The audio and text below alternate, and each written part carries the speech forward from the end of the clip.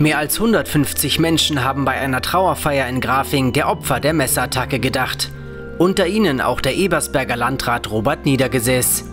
Ja, ich habe das gestern Morgen im Auto auf dem Weg in die Arbeit erfahren, so gegen acht und bin dann auch gleich von der Polizei informiert worden und dann eigentlich auch direkt zum Tatort gefahren und habe dort lange Zeit verbracht, auch mit der Bürgermeisterin und, und, mit den Einsatzkräften der Polizei.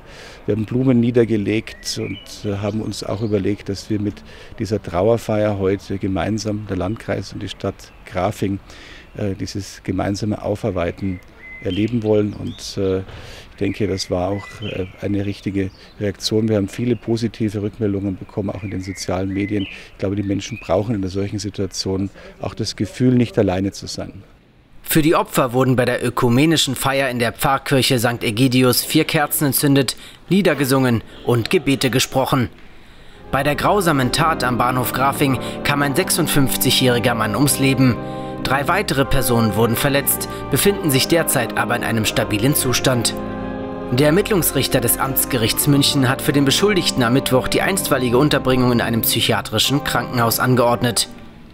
Nach der vorläufigen Bewertung eines medizinischen Sachverständigen leidet der Täter an einer psychischen Erkrankung.